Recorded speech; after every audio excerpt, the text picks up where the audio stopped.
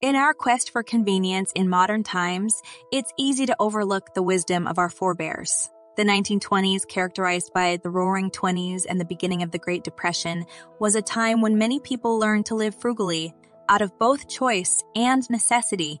Let's dive deeper into 20 often forgotten frugal habits from this era that are worthy of a comeback.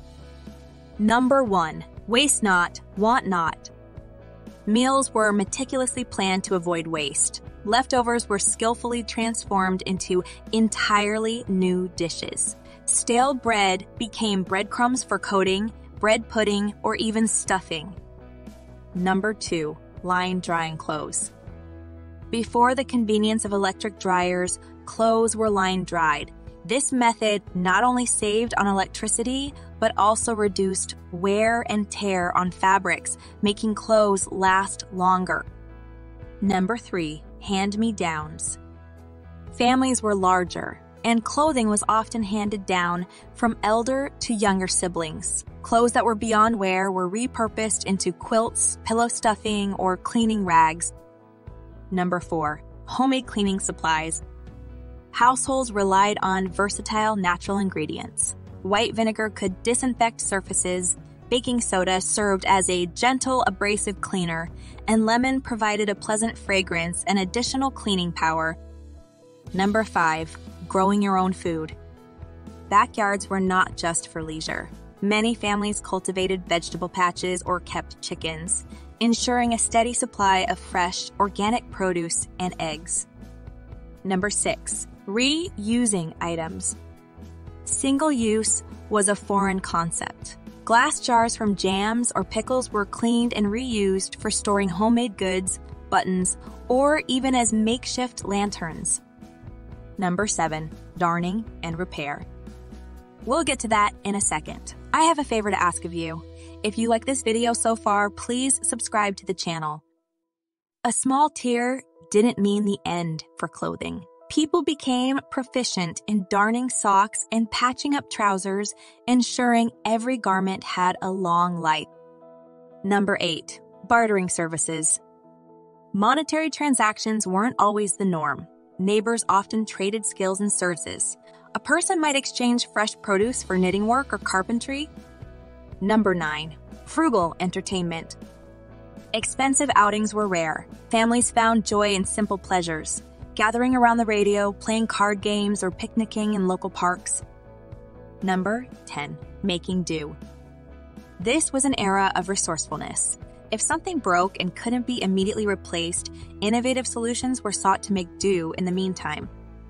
Number 11. Bicycling. With fewer cars on the road and the expense associated with them, bicycles were a popular, healthier, and more eco friendly mode of transportation. Number 12. Homemade beauty treatments. Women turned to their kitchens for beauty treatments. Honey masks, olive oil hair treatments, and rosewater tonics were common dye beauty remedies. Number 13. Bulk buying.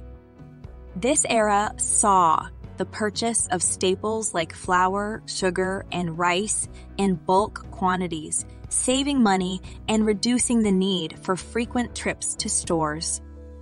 Number 14. Canning and preserving. To maximize the yield of summer harvests, fruits and veggies were canned, pickled, or turned into jams and jellies, ensuring a taste of summer during colder months. Number 15. Using every part. In cooking, every part of an ingredient was used. Bones were turned into rich broths, and peels often became a key ingredient in another dish, Number 16. DIY Home Repairs.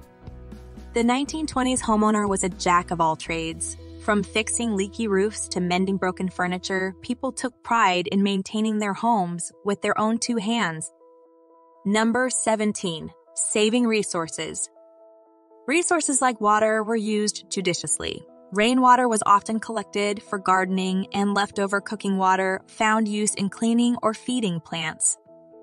Number 18. Making gifts. Store bought gifts were a luxury. Instead, people baked, sewed, crafted, or wrote personal notes, making festive occasions even more meaningful. Number 19. community sharing. Communities were tight knit.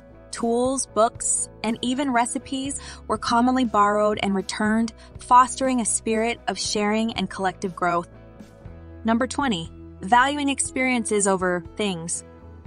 Material possessions were fewer, but the value placed on experiences, relationships, and simple joys was immense.